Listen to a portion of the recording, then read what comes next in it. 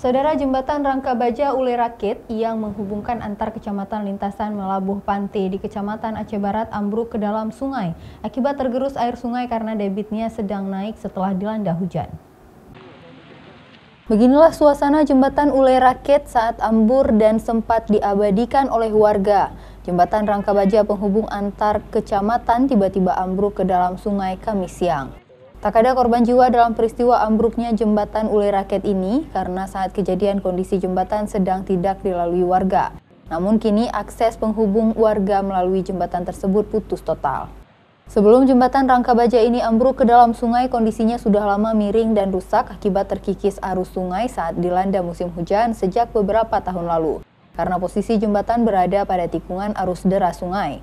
Kalau jembatan, nah ini lintas Pak kami kalau jalan-jalan sana jauh ini yang lebih dekat sini ya minta secepatnya lah dibangun bangunan ini jembatannya Warga berharap pemerintah untuk segera membangun kembali jembatan utama penghubung antar kecamatan di Pantai Cermen Pedalam Aceh Barat sehingga akses warga ke pusat kota Melabuh dapat kembali lancar dan singkat karena jika menggunakan jalur alternatif jarak tempuhnya sangat jauh.